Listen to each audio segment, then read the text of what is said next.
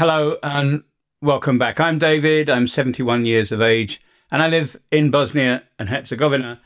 And uh, on these videos, I try and talk about what it's like being not only a foreigner living in the Western Balkans and in particular in Bosnia and Herzegovina, but also my life as a slightly older person. As I say, I'm over 70 now and um, I'm telling some stories about my life and about what it's like to be here. In the last video, I talked um, about cultural expectations, what it's like to come from somewhere like the United Kingdom and then live in a culture that is so vastly different. So thank you so much to people for making um, their comments about the video. But today I want to talk about something that has taken a long time for me to get my head around. I think I understood it from when I first arrived, but I, I want to talk about that now because a lot of people that um, I meet who know very little about Bosnia always seem to know the negative things not the positive things. And the other thing is that what they do know is uh, completely out of context. And so they build up this wrong, false impression um, of the country. Until yesterday, I'll be totally transparent, I didn't know that what I'm about to talk about today is the concept of veze, and that is about connections. When I came in 1998, to run a project here, well, to set up and run a project which lasted for seven years here, initially I had to look for people to help me, local people. And at the time, it was a media project, right? So I was looking for radio presenters. And I got introduced to a couple of people. And I just wanted to know where I could find trained professionals, etc., etc. And the first thing was uh, I was being suggested, right? Uh, family members or close friends. And I remember distinctly saying, no, no, no, no, no, no, no, no, no, no, no. We don't do that. We're going to look and be totally transparent and find people with the skills that we need. Because back in the UK, everything is transactional with us, right? There is a way that we do things. And although, yes, people do help each other's family members out, it's not as evident as it is here. This concept, veze, as I say, I didn't know about the name that there was such a thing until a few days ago. Veze is, I don't know how best to describe it, so I'm going to try it to do that in the best way how, and I hope that you'll stick with me on this. So, my personal experience. When I arrived, I was introduced to people. I didn't have too many friends, but people tried to befriend me because I had a project. And back in 1998, salaries were pretty poor, and the salaries that my project were offering were exceedingly high in comparison.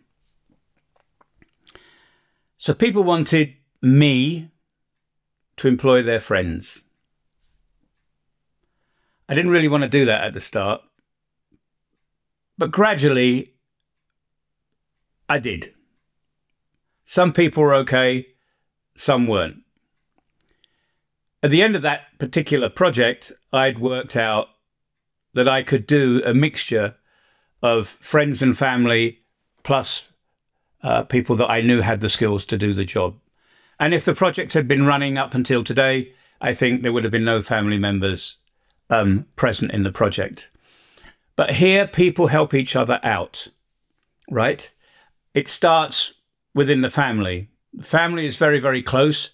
And if, let's say, the majority of the family was made unemployed for whatever reason, those that were employed would give their money to help those that didn't have it. So it's very, very close uh, within the family, connections helping each other out. That then spreads outwardly. Okay, so if you're not doing too well at school um, and you need a job, you will always be you will always be asking people that you know, extended friends and relatives as well, and former colleagues maybe. Um, do you know of any jobs going? Yes, there are. Could you recommend my my son, my daughter, my uncle, aunt, whatever it is, even though they don't know um, the skills required to take that job. That goes even further into business and even into politics. Um, I don't know, is it called nepotism back in the UK? I'm not, I'm not too sure. But here it is evident in everyday life. Veze. And it works here. I'm not saying it's correct or incorrect, because once again, if you go back to my previous video about culture, I'm not here to impress all the cultural norms that I grew up with or that I thought were normal here in Bosnia Herzegovina. We are two different cultures, two totally different cultures. So if a political party is doing well, people will want to get introduced to that so that they can get employed. And unlike the, uh, uh, the United Kingdom, political parties have a big, big sway. So if you want to get a good job, join the party. The, the party will find you a job. I find that rather weird, even after 22 years, but that's how it is here. This concept of Veze, people helping each other out. So as a foreigner or as a long-term visitor here, you will quickly notice that you will build a circle of friends and that circle of friends will then get ever bigger. When you move into your accommodation, after some time, normally, um, you'll get to know your neighbours, and your neighbours will invite you round for coffee, uh, for meals.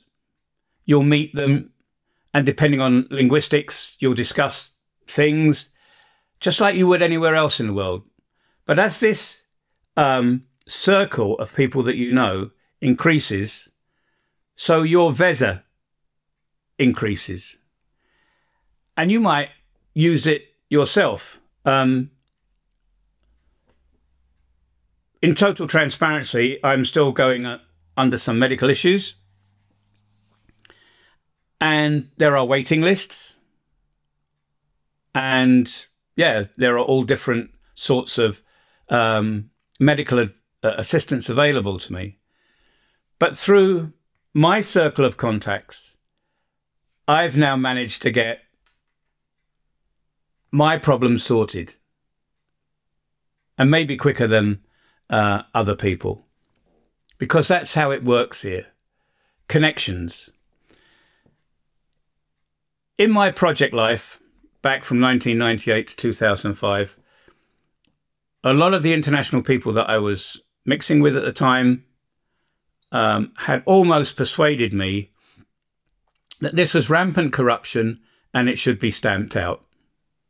Once again, people that weren't going to stay here, that really didn't have any interest in being here, apart from the mega salaries that the international community were offering at that time and I nearly fell into the trap. And sometimes when I see things happening, when I watch things on uh, television here, or I pick up on a conversation somewhere, I think that that is that is corruption because it would be classed as corruption back in the United Kingdom. But the systems here are different, and people here are different. And I keep going on about this to try and reinforce the fact that that's what it is.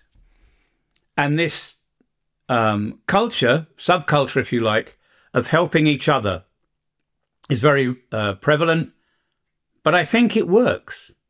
And it's been working for a long time. I don't know historically how far it goes back, maybe generations and generations and generations. From what I hear about life in the former Yugoslavia under Tito's um, strong socialism. It happened there. Party members helped out party members. If you were in the party, you got good jobs.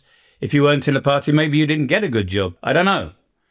But these are things that I hear, and some of them are quite honestly third hand. So, Veza, it is about connections, and connections mean a lot. And so, when you come to visit, which I really, really highly recommend that you do, don't be surprised um, when people are asking you if they befriend you, can you help me to do this? Do you know somebody in your company here in Bosnia and Herzegovina that's got any job openings because my young niece needs a job? You might be thrown back with that to start off with. But think about it. Just because it's not the way that your home culture or the culture that you were born into works doesn't mean it's wrong. So that's what I wanted to talk about today. Bit of a ramble, I know, but I think it's important to say it. Thank you very much indeed for everybody that's been commenting uh, and liking uh, these videos that I make. Oh, yeah, and I was asked, why is it, David, that you keep drinking tea? This is English tea. And yet, you know, you have podcasts uh, and blogs with the name of Coffee and Rakija. Yeah, I started off with Coffee and Rakija because those are the two things I think really identify with uh, Bosnia and Herzegovina. And I drink tea, yeah, because I'm a Brit. It's like it's like a comfort drink to me. Okay, thank you very much indeed. Vidi musa opet. See you again very soon. And uh, yeah, stay safe.